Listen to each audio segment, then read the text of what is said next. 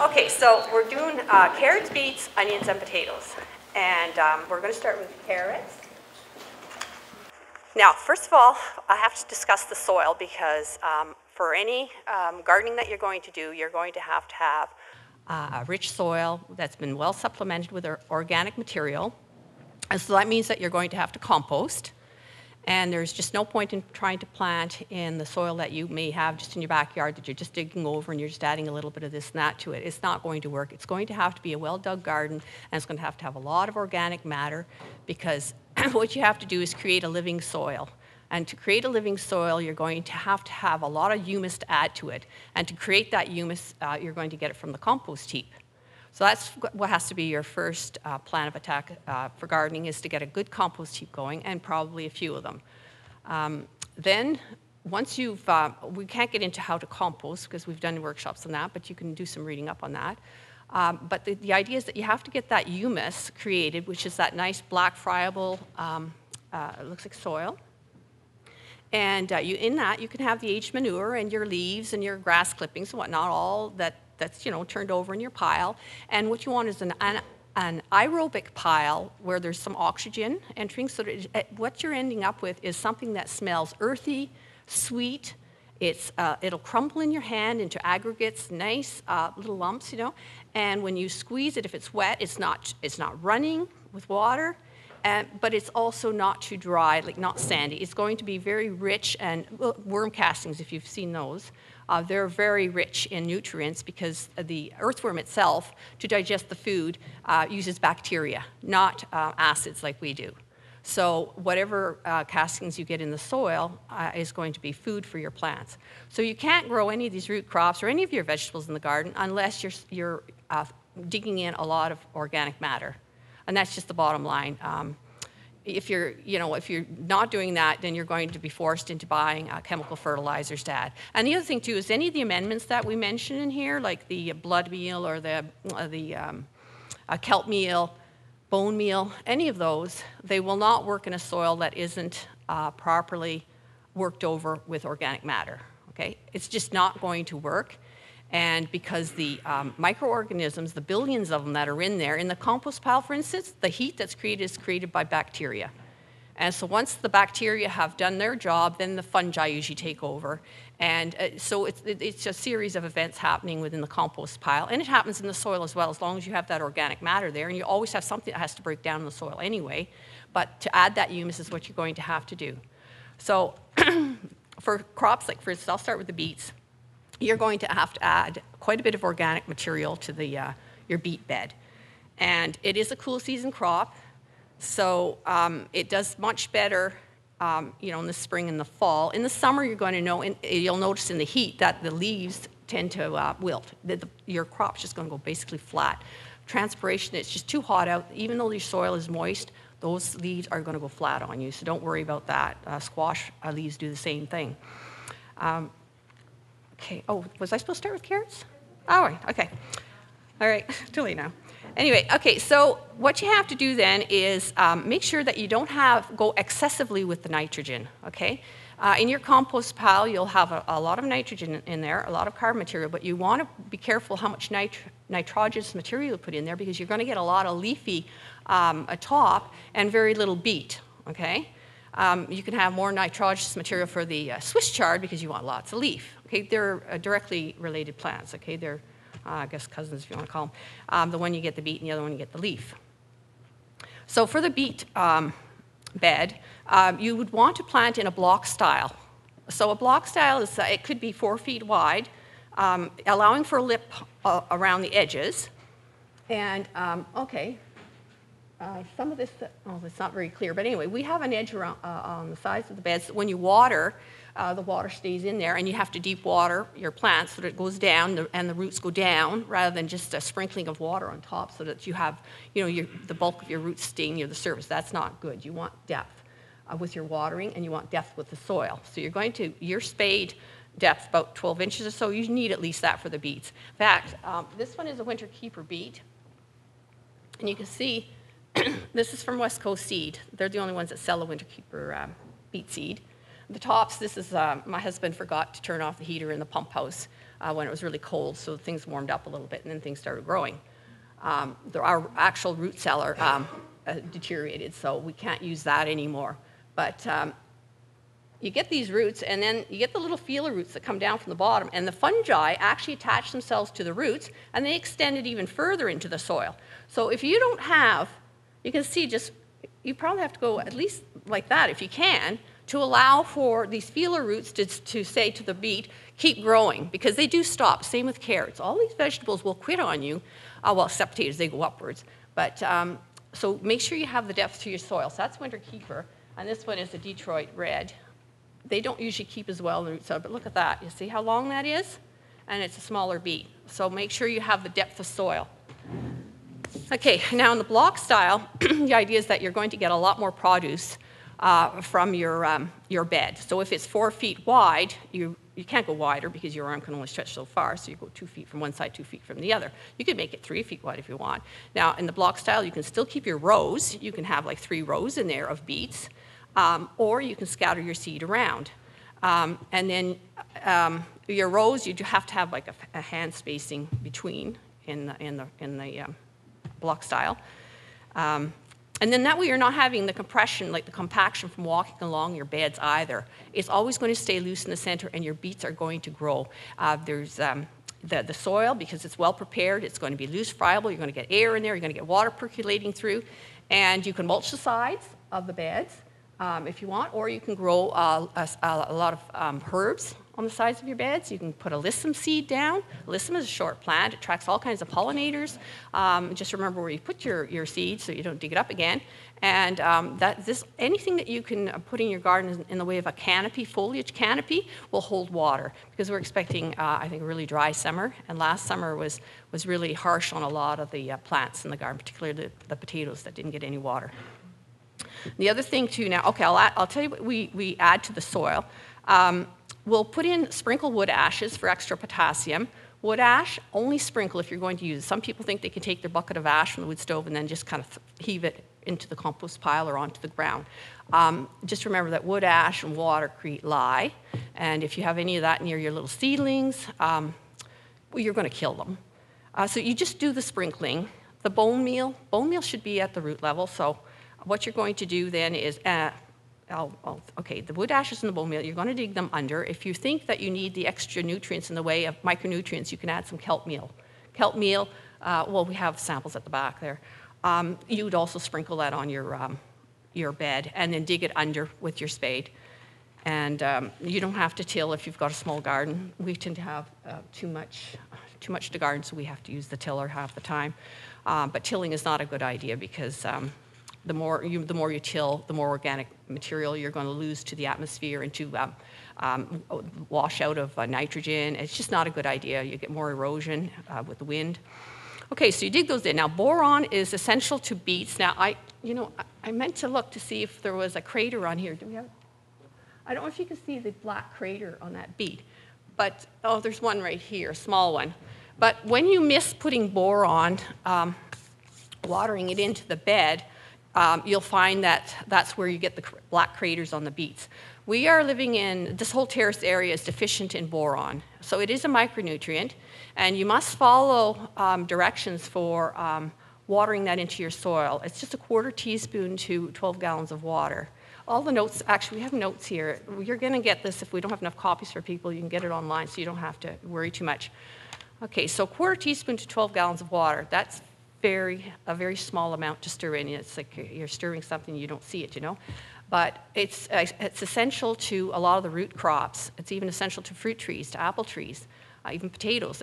So there are many, uh, the only two that you wouldn't add it to are the beans and cucumbers. For some reason, they don't want the boron. Okay, those two. But um, follow directions for the boron because uh, even online, some of the um, figures that they give you for the boron it's, it's, it's excessive, and it is a micronutrient, and you can sterilize the soil because you've got all these metabolic processes occurring, excuse me, chemical reactions occurring underground, and if you go and add too much of, of one nutrient like that, a micronutrient, you can really upset the balance of things. Oh, excuse me for a second. Things like nitrogen, they wash, nitrogen washes out of the soil. You're constantly adding nitrogen. But something like uh, boron, you don't want to do that. And then you will not get craters those black craters. And it's, it's not a disease, so um, you just peel the beet a little thicker. And if, if you've got a really bad case of it, though, it does enter into the beet and you've got to carve more away. Okay, so those are the three things we usually add. Um, and kelp meal if you want. Okay, now the, the beet seeds themselves are clusters of seed. It's not just one seed, so you'll have like three or four in a little cluster. And that's, that's usually how you buy it. Although some seed companies will, will sell the, the individual little seeds, but they've already broken them for you.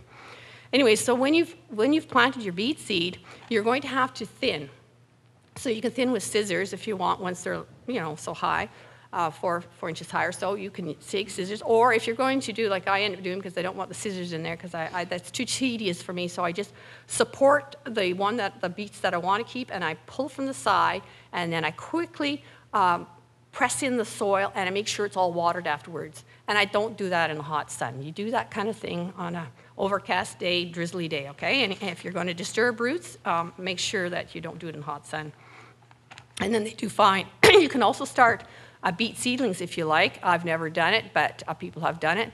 Uh, the nursery actually sells the beet seedlings, but you would have to uh, transplant those again when it's a drizzly day or overcast and no sun the next day because they would take a beating. You'd have to protect them with burlap or something, you know, a covering, uh, temporary covering. Um, because root vegetables, they do not like being moved, uh, transplanted.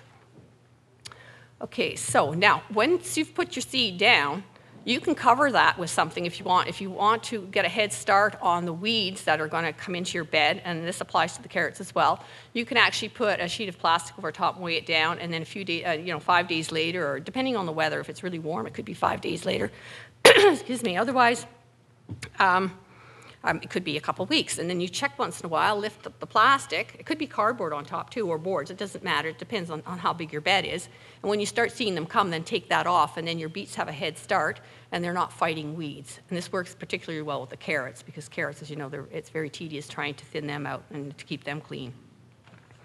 Now, bolting, if, the, uh, if you're uh, planting your seed a little too early and the plants come up, and the temperature drops, and if it's below 7 degrees Celsius, and then with the long days, you can end up with bolting. And in the garden, we usually always end up with some bolting. Last summer, we had, we had some bolting. It wasn't serious, though.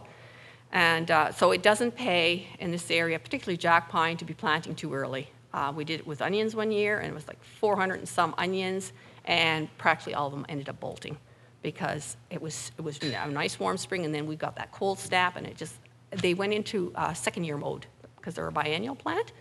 And so then they think that they have to produce their seed, you know, to reproduce. So this is what they do.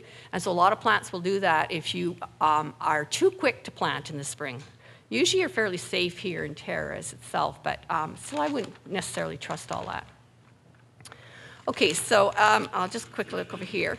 Um, that would uh, be probably the main thing for, oh yeah, sometimes your beets, you have chunks eaten out of them. I don't know if you've noticed that. I've noticed I've had like good chunks taken out of my beets, and voles or mice will do that. If you have a resident snake, they can, snake can take care of that for you. Um, we have a snake, a big snake in the garden. I think he's been feeding on them. But uh, you can get common scab on um, beets as well. The same thing as the common scab is on potatoes mainly, but you can get it on beets. Uh, but that just peels off. It's a fungi that does that. Oh, yes, and leaf miner. The, the leaves on top can end up with the trailing marks that turn, they turn gray and it looks like uh, an insect has gone through. Well, that uh, fly lays the egg and the egg hatches and the maggot ends up between the leaf layers. So when you're spraying something, if you want to try and kill it, even if you were using BTK, for instance, it's not going to affect them because uh, the, the chemical even if it's natural chemical, doesn't get through. But you know, the damage is never that serious anyway. Um, not like some plants, like I'm thinking the aspen trees, they're just so, the leaves are all gray because of the leaf miner damage. But um, beets, not that bad. And the one, uh, one thing that I get at home, and Anna's noticed that too, is the Cercospora leaf spot, uh, fungal disease and you get round lesions on your leaves, and you've probably noticed them, and you probably just, it's never that serious, so you don't worry about it too much, but you just don't eat those leaves, and you just kind of pick those out, and because I eat the leaves, I, you know, I freeze them every winter with the uh, Swiss chard leaves, and uh, excellent greens. But um, what you have to do if you've got a serious problem with any, any fungus in the garden, you're going to have to mulch, and keep the grain and your watering from splashing up the spores onto your plants. And the other thing too is cleanliness. Don't be working in your garden when, uh, certain, like especially like beans, for instance, even the beets uh, that are known to have the fungus, uh, fungus um, you spread the spores on your hands. Okay, so uh, beans in particular, make sure that the plants are dry and then harvest. But never harvest when they're wet because you can wipe out your beans really quickly with, uh, with fungus. And beets, not so bad, but it's just something to be um, aware of. Okay, so these uh, sheets have the companion plants. I won't go into that much because we um, haven't got a lot of time. And of course, beets are extremely healthy for you, so um, eat them cooked or, uh, or, or uh, fresh, grated in salad. Um, perfect uh, vegetable for you to fight all kinds of disease. Now, the carrots, um, again, uh, carrots, you're going to have to watch how much um, uh, manure you, um, well, each manure you work into your uh, bed. You'd want to do block style as well, just as with the beets. Uh, because what you end up with are hairy carrots if you've got too much manure worked in.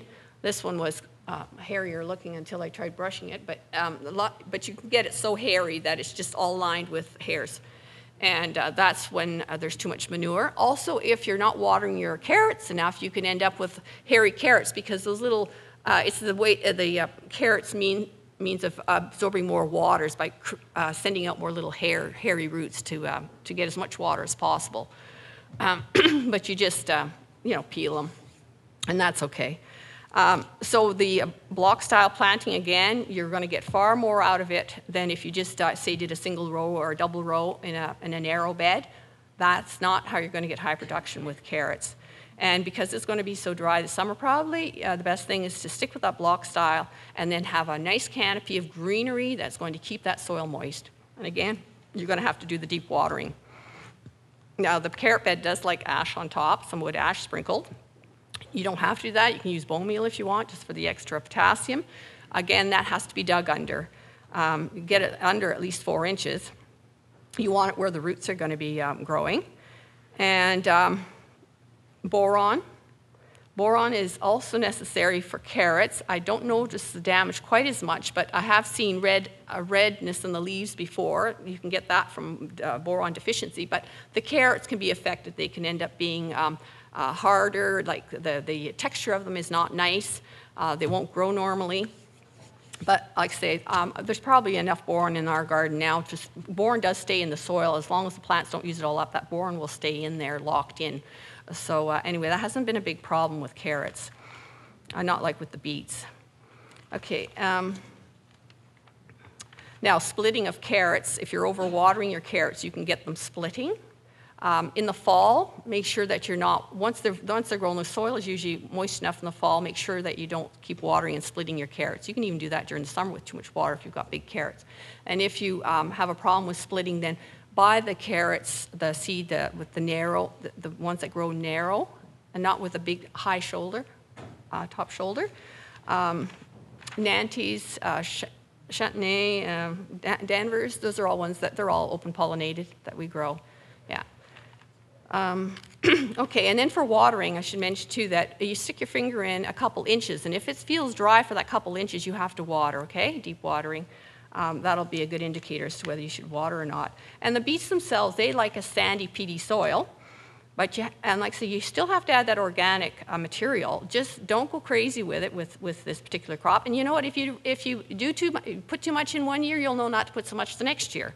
And every year you're going to have to add organic matter anyway, because you're going to have to go an inch or two of your good compost on top of every bed and work it in, because you have to feed that living soil. Those microorganisms are going to keep using up what you give, and so um, every year you're going to have to add another layer of your compost. And um, you'll see that the earthworms, once you start doing that, and if you're digging in your soil a bit too much, you're going to see the earthworm activity in there, and you're going to know that you've got really good soil when you start seeing that. When you start seeing a lot of ground beetles and ants are busy, and even slugs. I mean, slugs break down organic matter too, you know. Um, uh, when you see a lot of this uh, kind of activity, um, even just below the surface of the soil with the, all these beetles and whatnot, um, you know that you've got a healthy soil because they wouldn't be there if it wasn't healthy. Um, that's just uh, the way it is.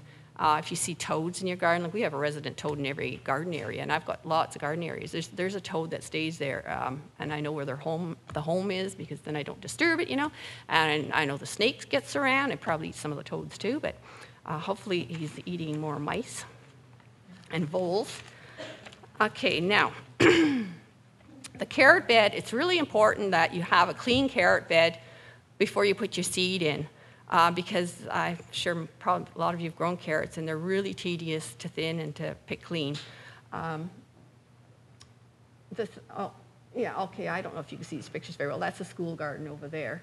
Um, so what we were doing at the school garden, I'll just talk about that one for instance.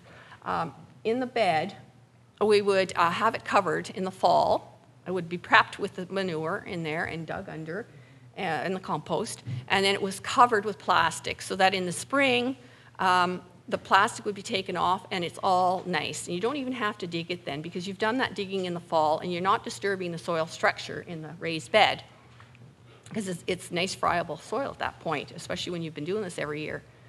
And uh, to sow the seeds with the kids, we mix with sand and it was colored sand and then scatter it because it's really difficult to figure out how much carrot seed to use because you can really go overboard. On the, the, this, uh, the handout, um, there's a some ideas of how much you could put down, weighing or, or uh, uh, the numbers of seed according to the package. Anyway, you can see, oh, try what I've written down, see if that works for you. Um, so then we scatter the uh, seed, and then when you see where the seed did not get scattered because of the colored sand, we'd get it brushed over, you see, so then it was an even bed. So when that's done like that, then a scattering of soil on top and patted down, and we used sifters for these kids, you know, and just sifted on top so that it wasn't a really thick layer of soil going on top. And then patting it down, and then a cover of plastic on top. We end up using a lot of plastic. In my, in my own garden over the years, I've used boards and cardboard, but, and then weighed it down. And the quickest carrots came up in warm weather was five days under the plastic. Uh, the longest was more like two weeks in cold weather. So uh, if you uh, are too slow in taking the plastic off or peeking there and you see all these little white heads, it doesn't matter. You take it off, it, photosynthesis kicks in right away and it turns the, your um, crop turns green. But the thing is, you've got the head start on the weeds and it's just perfect for uh, keeping the weeds down. Now, if you go a little crazy with your seed and it's way too thick and you know that it's, you, you know, you almost feel like crying because you have to thin all this out and it's just such a, such a tedious job, um, take a rake one of the metal rakes that um, is rectangular in shape, the heavy metal ones with the tines that are about uh, half an inch apart.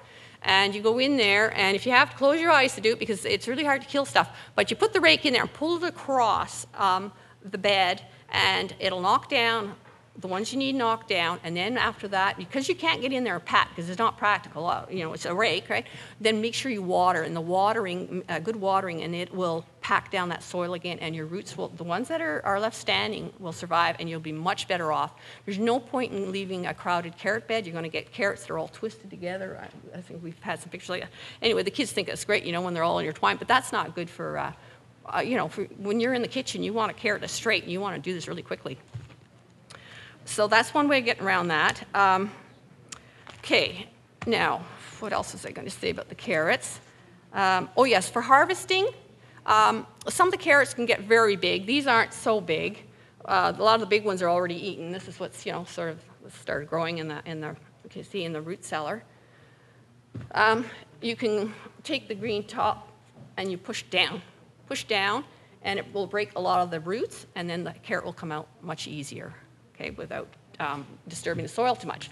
Now, because the carrot rust fly is prevalent in this area, and it's, it is a real, can be a really serious problem, um, when you're pulling carrots out of the ground, make sure that you seal that hole and that any carrot tops that are exposed as you're doing that, cover them up, bank soil around them, because they're going to turn green anyway, and then you're cutting it off.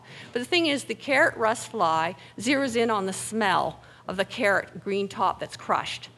Okay, so, um, and, and they, they just nestle in the, the perimeter of the garden in, in, in, shrubbery and, you know, like weeds and whatnot. So if you keep your garden clean, um, you won't have such a nice spot for them to, uh, to stay for the night. And then when they do smell the carrots, they go in on them really quickly. So you get your first batch um, beginning of, uh, what is it now, the middle of, middle of June, beginning to middle of June. you'll start finding the, uh, um, the fly, well, you don't see it, it's so small anyway, but you'll start noticing damage if your carrots are already growing. And then middle of July, you get another batch, and apparently you can get a third batch. I'm not sure that I get those, but um, anyway, the, they're, uh, they're pretty busy, these flies, and they lay an awful lot of eggs. And uh, you're going to have to protect your, your carrot bed. The best thing, we're, we're putting a cover, fa- uh, cover crop fabric over the bed. Yes, just like that, uh, because the damage is too extensive from the uh, carrot rust fly. And the maggots, like we had a few carrots we were pulling out of the root cellar that were totally rotten because bacteria gets in, and next thing your, your um, carrots are rotted. But for storing the carrots, you have to store them. These, uh, some of the stuff was store, stored in damp peat moss. Um, uh, a lot of it was stored in um, sawdust that was partially decomposed. Yeah, there you go. Okay, and see, they don't touch. They mustn't touch um, just in case one rots and then it rots the rest. So you're spacing them. And it doesn't take very long to do this as long as you have your stuff ready to go. And I always like it damp. Um, you can read all sorts of things on how to store um, your vegetables, you know, dry, uh, a dry uh, filler or damp. I use damp. And then that way, these carrots stay nice. The, the moisture isn't drawn out of the carrot into the, the bedding that you're putting them in. So that's what I do. And then the, the size tote, this actually came, I think, from Save On. Um, they're recycling totes, but they're really good for um, storage in the um, root cellar because they have the holes around the side. And you don't want a solid plastic container. A box is great, a wooden box. Um, but you need some air, access to air uh, for these vegetables so that, uh, sorry, what do I have to do? I have 10 minutes left? oh. All right, sorry. okay, 10 minutes. Okay, it's all right. Wireworms are a problem in the garden as well. And they can tunnel right into your carrots, make nice little holes, and then what happens is you end up with bacteria in there, and then that will rot your carrots too. Um, they don't seem to bother with beets, but they do bother with potatoes. Now, the onions, oh, I gotta go a little quicker here. Okay. Now, with the onions, make sure that um, what you, what you, when you're preparing your soil, you don't make it too salty. So, uh, any of this bag manure that you're that you're buying, if that's what you're using, uh, that is salty, okay? And uh, also may have grazon in it, a herbicide that is causing a lot of trouble in gardens these days. Um, and you don't know if it's in there or not. You don't even know if the hay that you're getting from uh, parts of uh, northern BC is safe. Okay, so don't trust any source. The best way of testing to see if you've got Grazon it, because it'll kill your potatoes, uh, the nightshade family, tomatoes, potatoes, uh, pepper plants, um, and beans. So the best way to test for that is to have um, you can have three pots for a control. So you buy your potting soil, fill those three with the potting soil, and then have three more. And then what the, the material that you're worried about, say it's your, uh, your compost heap, because now you've probably put some hay in there that might have Grazon in it, okay, or manure. And then do half potting soil and half the mix of your, your compost and mix it up and put it in there. And then put uh, two or three bean seeds in each one and then you can see the, mark your control and mark your, your the ones you're testing and then see how they turn out. Because bean seeds are very sensitive to this herbicide and they'll curl up. And people have actually destroyed their greenhouses like their tomato plants pepper plants uh, because they inadvertently introduced it. Okay and it is uh, it's around. So don't trust any of the uh, bag manures for that. You're going to have to do a test if you're going to uh, start purchasing that sort of thing um, okay, so the onions, okay, in the write-ups here, there you'll have the um, onions that grow well in this area. We need long day onions, not the short day ones. Um, so you have to uh, make sure that you're purchasing the right seed for the long day, uh, daylight hours. And um, the onion maggot is a big problem around here, and it was uh, quite a problem last summer. Um, you can use nematodes, the beneficial nematodes, if you would like. Oh, yes, there, you see. I don't know if you can see that or not, but the little maggots are in there. And uh, the beneficial nematodes uh, are very helpful, but you're going to have to follow instructions on how to uh, get the nematodes into the soil because otherwise you're going to waste your precious money because they, are not that cheap to buy. Uh, otherwise, you're going to have to use a cover crop. Or you just plant lots of onions and you allow maybe a quarter of them to go to the maggots and you get the th other three quarters, something like that. But that, you, that's kind of the way you have to deal with this sort of thing um, because you do not want to put poisons on the ground. Oh, yes, and radishes. Yeah, you can put, you can interplant your, the best thing with onions, put them around your garden, different places to avoid this problem. And um, yeah, things like radishes planted in amongst the onions, lots of herbs to the, because the, um, the aromatic herbs, the fly won't like the smell of those and it won't even find them. Uh, some of the biggest onions in the garden were in amongst calendula. They were just huge and they were hidden there and they just kept growing. The tops were coming up and in the fall, a big surprise, these huge onions. Okay, so uh, plant in amongst the herbs um, to help yourself. Okay, and in the fall, um, when about a quarter of the onion tops are starting to brown and fall over, that's when you take, say, a long rake handle and you go and you, and you take the handle and you just go across them all and just knock them all down because you know that the weather's going to change and they have to start drying uh, in your soil. Oh, okay, yeah. And you're going to get a lot of onions maybe that are too thick on the, uh, this is from the school, that one, I guess, um, too thick and green. And uh, they are not going to dry. So what you're going to have to do then is what we do is um, you make broth and can it. This has all different vegetables in it. Uh, carrots that you know couldn't go in the root cellar, uh, oversized beans, anything like that can go in there, and just can it. And then these are the Japanese onions, started from seed. You only get green, green tops. You don't get a bulb from this. And so if and the uh, onion the uh, onion maggots do not destroy these ones. They don't seem to like them. I've never had a problem with that. So if you want to really make broth, that's what you're going to have to do then. Uh, or you want lots of onion for sauces that you want to store, you know, maybe freeze or can, um, try that, Japanese bunching onions. Okay, so, and then the potatoes, well, we end up usually spending about an hour talking about potatoes. So, okay, let me see. Um, we'll talk about the problems. Okay, we're going to end up with five minutes? Okay, I have five minutes. um, it's going to be a hot, dry summer probably, so the best thing in that case is to plan for, for a potato crop that will do well in that, under those conditions. So determinate potatoes are only going to grow um, to a, a certain height, a certain amount. They'll create one layer of potato in the ground, okay, rather than layering uh, indeterminate potatoes, the long uh, growing season potatoes, long season potatoes, they keep going up and keep sending out side shoots, whereas the determinate potatoes do not do that. So you get the underground stems only at one level. So that's what you would want for hot, dry weather then, so that you're not doing all this hilling, because the hilling you can't water hilled potatoes very well. It's really difficult. We ended up with that. We couldn't, we couldn't water that.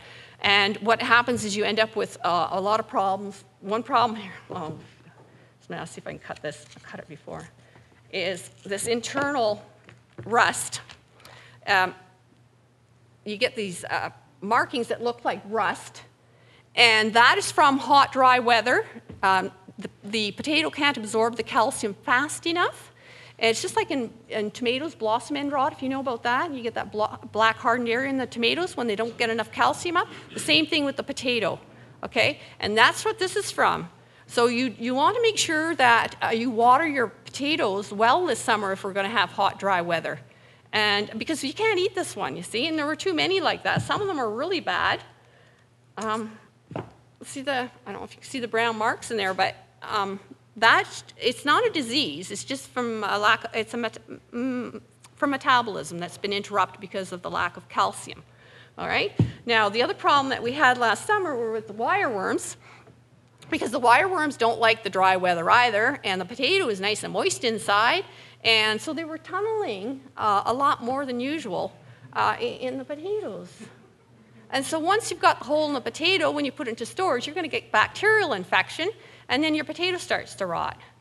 So, um, and then scab, this was a whole new potato um, bed area because I was trying to get away, want to try and get away from um, the flea beetle. That's another problem that's uh, quite common around here, the flea beetles. And uh, about 10 years ago, they came onto our property. I don't know how I got them there, but it just, you know, they're not going away, so I have to deal with it. If you have a serious problem with flea beetle, you're going to have to do a four-year rotation. And um, the flea beetle likes other plants as well, so you've got to uh, read up on that to make sure that you are not constantly giving a nice home to these flea beetles. And the flea beetle is just a tiny little beetle the size of a pinhead, and when you go to grab it to pinch it and squish it or whatever, uh, it, it hops away. That's why it's called a flea beetle and it looks black, but it's actually uh, meta- two minutes, metallic green in color. So anyway, what uh, we use diatomaceous earth and we sprinkle that on top of the plants, uh, the young plants, um, just because it, it can be a really serious problem. You're going to end up with buckshot holes all over your foliage, and it looks terrible. But the worst damage is that the maggot goes down. Um, the eggs are laid at the surface level there, you know, with the soil and the plant, the stem level, and the maggot uh, goes down into your potato and digs up only about a quarter inch deep into your potatoes. But I tell you, it makes a real mess of your potatoes, and you'll know when you've got the the uh, marks all over your potatoes, the trails. And when you uh, store them for the winter, you're storing them with the maggots in there, and they just keep feeding all winter. So you want to do something about that. And one thing that has foiled them in our garden is a thick layer of loose hay, because the, on top for mulch, uh, the flea beetle finds it very difficult to get through that maze of uh, hay down to lay its eggs at the base. So if you have a problem with that, get lots of loose hay on top, because you, I don't know of any way of seriously getting rid of these things once they're on the property. Um, so watch out for that, so you can attack them as quickly as you can with some diatomaceous earth or whatever.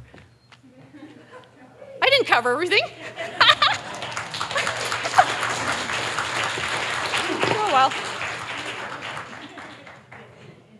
These are parsnips.